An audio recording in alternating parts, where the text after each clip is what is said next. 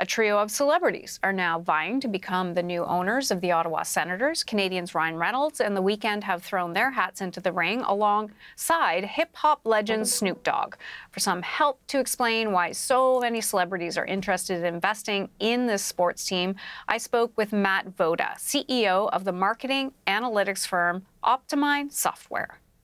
There's a really interesting thing happening in the market, and it relates to streaming and consumers, you know, getting more of their television content through streaming devices. And what's happened is that live sports and sports franchises have benefited because it's it's a place where um, people won't stream. They want to tune into the live event uh, and that means that they're going to pay attention to the TV advertising during that event. And that has driven up the value of these sports franchises. So these celebrities are smart investors and, and they know that the investment will, will tend to increase over time.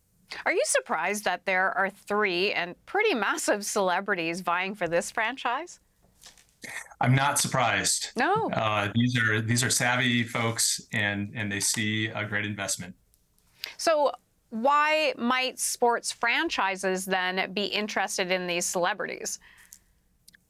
Yeah, the franchises will benefit as well. And I think we we saw this when Ryan Reynolds acquired uh, the team in Wrexham in Wales, and it raises the visibility of the franchise when you when you have a celebrity owner like this, and you have more fans that will tune in, and so it, it really helps the the prominence of the team as a result. So a lot more prominence. Absolutely. I, I know in Ottawa here, it's pretty exciting to see, in particular, these two big Canadian stars as well as Snoop Dogg. So when it comes to having a celebrity owner or investor, uh, talk about that from a brand perspective, how they can build on that.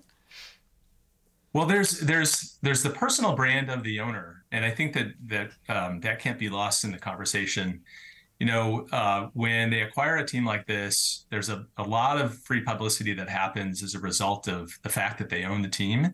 And that raises the stature and visibility for them and, and their own personal brand in the market.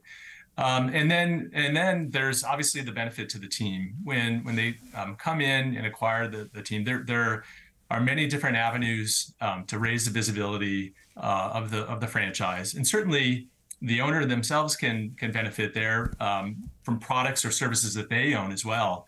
Um, we saw this with Ryan Reynolds, the aviation gin brand that, that he owns, uh, gained additional prominence as a sponsor of the of the football team in Wales. So there are all sorts of brand um, benefits, both for the owner and for the team.